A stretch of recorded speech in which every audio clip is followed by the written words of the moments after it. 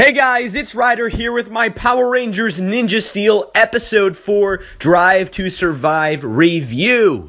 This is episode 5 of the new season, and this time we're focusing on Calvin, the Yellow Ranger. Now, this is a character who I've actually really seemed to enjoy the last couple of weeks, especially his relationship with Hayley. Uh, I think the downside to this character and, and Hayley, and even kind of Sarah, is that obviously we haven't really had time to, to meet them fully. You know, we, we've just been briefly introduced to each and every one of these Rangers. We've had a lot of focus on Brody, we've had some focus on Preston, not really the other Rangers. So that's kind of what these, you know, upcoming episodes are for. Uh, I'd say it's really starting with this one, diving into these characters so we can really love them. Something I need to address though is, uh, I, I think I addressed this at the beginning of my, two weeks ago, my review of Ninja Steel. Uh, but it, it is the, the really, the, the quality of this season. And I think a lot of people, for some reason, are, tr- are kind of hating on this for some reason. And, uh, you know, this is coming from a hardcore Power Rangers fan. I, I, I just rewatched all, you know, leading up to to this fifth episode, all the episodes together. And while, you know, at times maybe that's not the best idea because then it might seem to, you know, drag, right? Maybe it feels like it's dragging if you watch too many Power Rangers episodes all together. I thought these, the story flows so well. And I, I think a lot of people are not giving this, the, right now, they are not giving this show and this cast the credit that they deserve. So I think we got to calm down here. I think everyone's blowing this way too out of proportion. The acting from Will Shewfelt is not bad. Okay. I mean, it's not good, but it's not bad. And this is not to me. I, I, I rewatched a lot of Samurai recently. I rewatched a lot of Megaforce and Super Megaforce and even Dino Charge. And while, you know, at times it, maybe it doesn't hit where the first season of Dino Charge did, uh, it is by far below Samurai and Megaforce out of the water. And it is a, it's, if it's if it's not tied with Dino Charge, it's a close second. So let's calm that down. Also, one last disclaimer: I am kind of getting over a cold right now, so my if my voice or nose or whatever is doing some weird things, just take it easy there. So here we go. Let's jump into this thing. So we start off the episode and we've got Calvin and he's built this new bike. Now his whole like uh the, the idea that that we've kind of formed with him and, and the personality he's kind of shaped is that he is the boyfriend of Hayley and Hayley is his girlfriend. They've got this really cool kind of like clicky-ish type relationship that they just kind of join in. They're they're part of the group. Uh they they they know Preston and Calvin really really likes his car, Nitro or the Nitrous car or whatever. I think it's Nitro. I, I don't even know. I don't even I'm not sure. I his Zord's the Nitro Zord. He has he named his car something similar to that. Whatever. It's a big yellow truck, and uh, him and Hayley they seem to just go on adventures in this car. And Hayley brings her dog Cody. So there you go. That there's the and we we know Calvin knows how to fix cars, and he likes screwing with cars, and you know doing all this, and that's kind of the identity that he's formed within the show and within all of us. But right here, this episode did something that I didn't expect this show or this episode to do at all all. It really flipped the character on the head, and it, it, it brought a new dynamic to this character. And once again, it made me believe more in this relationship between Hayley and Calvin. Now, the big twist here, it's not, I mean, it's not a huge twist, but it kind of is. We assume that Calvin loves driving and riding bikes and, you know, all these extreme things, but he can't drive. He can't ride a motorcycle, and he's like afraid of this. Now I'll, I'll, jump into that in just a minute, but let's just think about this. Hayley, Hayley says, "Hey, I'm, I'm kind of his personal chauffeur." Think about it. Every single time what we've seen Calvin in his car or whatever, Hayley's in the driver's seat. She is driving, and every and I, I was I, I think I, I actually I made that comment in my episode two review. I'm like, "Hey, that's Calvin's car. Why, you know, when they're with Mick and, and they're running away from those Kudabots, why is Hayley driving? And I'm like, all right, hey, I'm, I don't care, right? It's just a little thing it's that. It is that right there, guys. When you say Power Rangers is lazy, no, that that's not lazy. That's you know that's really that's that's character building. That is that is forming a an identity within this team and for us. So now you look at Calvin and you and you think, hey, this guy he's interesting, right? You know he he loves doing all these things with machines, but he doesn't really want to be part of them. So this episode is primarily about him conquering his fear of you know riding a motorcycle motorcycle, right? You know, driving a car uh, to save Hayley, to save the rest of the team because they've been sucked up by this spider monster called Tangleweb. Now, this is actually a pretty cool monster. So let's just let's move more into this part. Uh, we we you know obviously Galvanax. He you know I like how they're calling him Champ. Also, they're not calling him Master or Sir. They're calling him Champ. So I think I don't I don't know. I wanted to bring that up because you know why not? You know I thought it was cool. And Ripcon's there and he's like, all right, we we've got a new monster. We got his name's Tangleweb and all that. And uh, you know it, there there's some back and forth comments between Galvanax and Ripcon, and it seems like Galvanax is starting to, at this point, get a little fed up with Ripcon because Ripcon is producing these mm, odd monsters that, you know, are being somewhat successful in destruction, and they, they seem threatening, but they're not doing much. They're not getting any power stars. So Rip, you know, Ripcon, he, he's, he's starting to get on that thin ice there. So he sends down Tangleweb, and Tangleweb, well, he's got an interesting, he, he's in some interesting powers. Now, what I do have to appreciate appreciate about every single villain that they've put down Monster uh, in this show so far is that they all have these very interesting and kind of special uh, abilities. They're not just, you know, guys, in, I mean, they, they are guys in suits, but the bottom line is they're not just, you know, the same, they, they don't have the exact same powers, right? Like, if you look at something, I'll use the example of Super Megaforce, the monsters there, they all had different, you know, outfits or whatever, but they all did the exact same thing. That was it. These guys, they are, they're, they're original. And, and that, that kind of goes for all Power Ranger seasons in the past. They're just another monster, right? These are just another monster, but, you know, this guy, he can grow and shrink into a, a little spider. He's been fooling people by turning himself into a spider, uh, and then he, he can create this massive vortex, and it, this vortex, it's basically him eating people. And he eats them, and they go into this spider prison, but it's really his stomach. So, or not really stomach, but this, like, tank on his back. It's really interesting. So I, I thought that was pretty cool that they did that. I like the voice for this guy also. And uh, Tangleweb, he gets down to earth, and he goes and he goes to the high school, it's Summer Cove Hi. And what does he do there? Well, he has to run into, you know, Monty and Victor because, you know, Monty and Victor, what are they doing? Well, what are they doing here? They're they're they're eating beans. No, no, they're not eating beans. They're chugging beans. Like, yeah, like canned beans. Why? What is the logic to this chugging of beans? Well, the logic to the chugging of the beans is so that Monty will start farting, and then soon after Victor will start farting. So the teacher will be like, "Well, what? You, what the hell are you guys doing? You know, get out of here. You know, leave class early." So their idea is to fart in class so then they can be removed from class early. And then Victor's like, yeah, it's a good plan. It's a good plan. So, you know, these are the two idiots that we've got here. And uh, it's, it was, I thought I thought they they they're I, I kind of like seeing them just because I think it, it makes the high school area feel more real because I, I don't know how to explain it. It just if you didn't have two characters like that, if you just had the fi- the five main rangers and uh, you know Mick, uh, I I just feel like the the high school kind of experience wouldn't really be there. So I kind of enjoy that, just seeing them just to kind of be um, uh, submerged within the high school more. Whatever. I know it's kind of weird. I don't really I didn't care for the story that much with them. Basically, they get you know webbed by Tangleweb, and you know they keep farting because now in in, in this web and the the webbing expands. And now they're running, you know, from the school in this big kind of like, you know, balloon type of tangled thing. And uh everyone's like running away from them because they smell and that's it. And then they start flying away. So it, it is pretty bulk and skull like. I think what made bulk and skull so funny though is just because they looked like idiots and they fully behaved like idiots, and that's what made them funny. And they had their own theme song.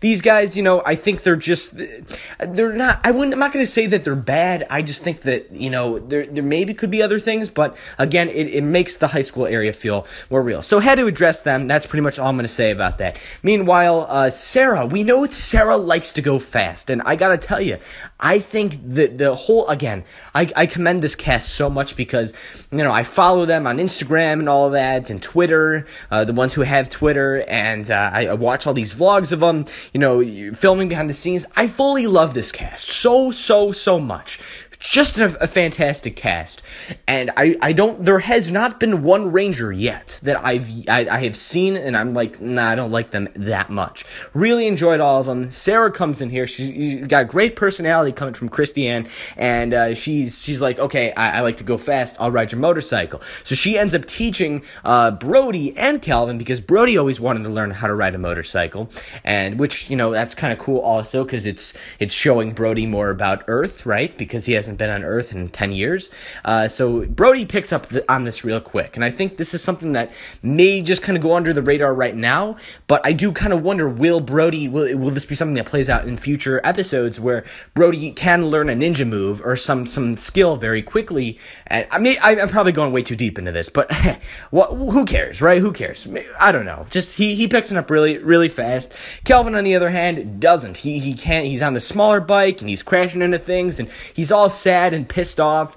And we find out this is he he's afraid to ride because he was on a go kart when he's little, and he white he had this really huge you know traumatic wipeout, and he's just he's afraid to do anything again in case he wipes out or hurts himself or hurts other people. So uh, that's kind of it. And Hayley comes over. She's like Calvin Maxwell. She uses his last name, Calvin Maxwell. You can do anything. I I you're you know it's all that right. So the the pep talk from Hayley, and again I truly I do buy this relationship between the two of them because the two of them are again I'll say the word clicky. They they kind of have formed their own clique together with it's like a sub team within the team but it's not like super defined. Like think about Ninja Storm, right? You you had your Thunder Rangers after after you know the evil Thunder Rangers became non-evil, right? The Thunder Rangers were kind of their own team. It was super defined from the the main team, right? This is different because they're obviously all part together, but it it does kind of feel like that where they are off on their own together at times, and I do appreciate that. So Calvin, he's like, all right, I'm all wet. I gotta change. You know, there's no hope for me. All that, right? He runs away. In the meantime, Preston, he's like, hey, look at that. There's a little spider. He's gotta be careful so we don't say, oh my god, what's what? And then that the spider transforms into Tangle Web and he's like, Rangers, I want to eat you for food. And then Brody's like, there, there's no eating on of the Rangers. They're not in the menu today. It's morphin time, ninja spin, all that, right? And we actually do see somewhat of a new morph sequence, not really. It's obviously the same morph sequence, uh, higher definition now because you know, thank God. And uh, the the other thing is they are doing some some kind of uh, similar to what Dino Charge did, where they did use some stock morph footage. Now it made sense in Dino Charge because like they had to do this massive choreographed like dance move kind of thing every single time they were gonna morph, and that would have taken forever to film and probably would have annoyed the crap out of the whole team after 42 episodes or whatever, 44 episodes. So they used stock more footage. It kind of made sense. Here, you know, they, they've added this, you know, kind of ninja thing where they swing the morpher around. I, I personally think this stock footage looks cool, but hey, uh, you know, interesting choice. So they morph up. They kind of get all they all get sucked into t- Tangleweb except Brody. And Brody, he's he has a, a fight with Tangleweb solo, and I gotta tell you, I think all of the footage not nah, I shouldn't say all because the end of it was some Japanese footage, but I'd say at least 80%, maybe 85 of 85%, nah, 80% of this episode was American footage. American shot Ranger fighting, uh, super super cool, super super cool. Really love that. So uh, hoping that they can provide more of that in the future. Brody ends up getting sucked in Tangle Web. Thought the acting for Will Shewfelt was fine. Don't worry about it. Not a big deal. Okay, it's not, it doesn't the whole show for me uh, like it did for some other Rangers in the past, like uh, Troy. Uh, so, you know, Calvin shows back up and he he kind of just he sees you know Brody get sucked up and uh, you know, he, he doesn't know what to do, so he goes back to the base, and we get to see more of Redbot and Mick forging new power stars. And I love this so much. I've, I've, I've said it in the past, but I, I, first of all, I love Mick. He's just fantastic, okay? Love the base. That's, that's also fantastic. And I love the way they just whip the, the, the, the, the throw, the, uh, the Ninja Steel stars into the Ninja Nexus Prism, and they shoot out as power stars. It's just so cool. It's just such a cool, you know, transition and uh, idea. I really love that. Uh, so Calvin gets back in there and he's like, you know, Mick, I don't know what I'm going to do. All the Rangers sucked up, which we do. Uh, Mick and him, they have some sort of a pep talk.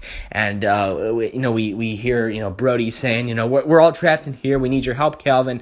Uh, Calvin sees a vision of the bike that he created, which also got sucked up with the Rangers. Now, the Ninja Nexus Prism shows the vision. I also like this because I've said this in the past. The Ninja Nexus Prism and Mick combined are basically the mentors of the season.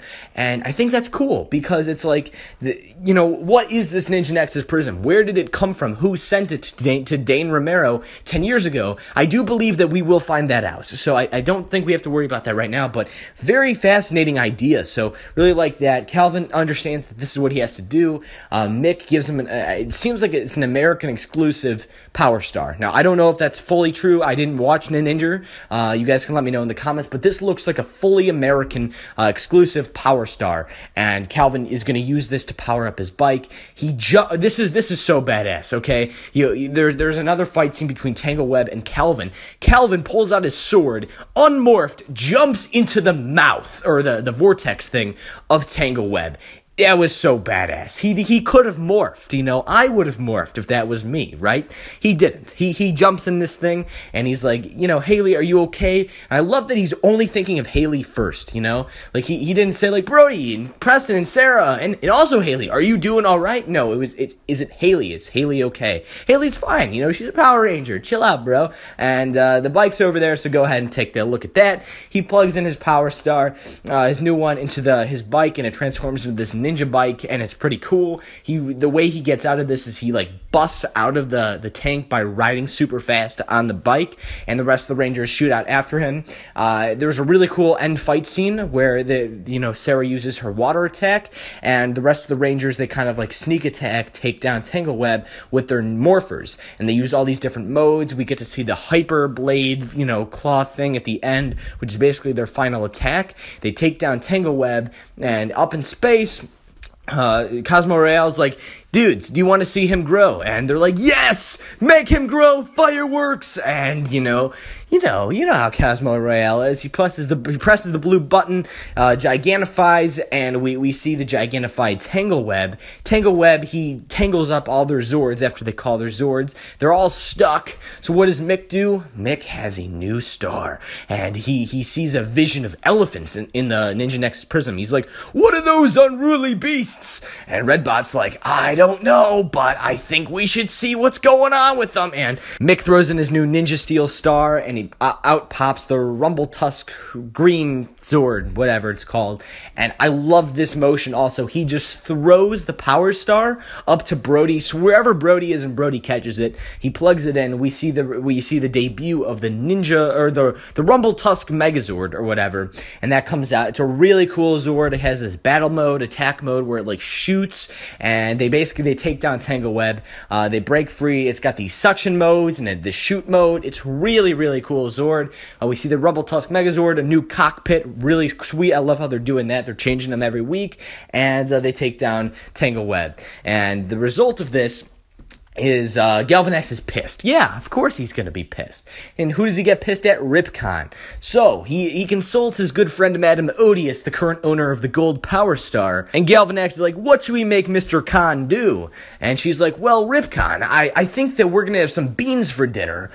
And, I, I kind of think maybe you want to clean our toilets. Should we do? Should we have that happen? Galvanax is like, yes, clean my toilet. It better be spotless. And Ripcon's like, ah. This reminded me of Elsa and Zeltrax. Now, obviously, Elsa and Zeltrax kind of had a rivalry for Mesogog in Dino Thunder, and they would, you know, Elsa would kind of give like tease tease Zeltrax, you know, because Zeltrax always get blamed for everything. So it kind of felt like that, which, uh, you know, is interesting, but also very ridiculous. But hey, the whole show is ridiculous, so who cares? And at the end of it, we see Calvin, he pulls up and he's got his uh, driver's license. So he's like, hey guys, I got my driver's license. Everyone's super pumped.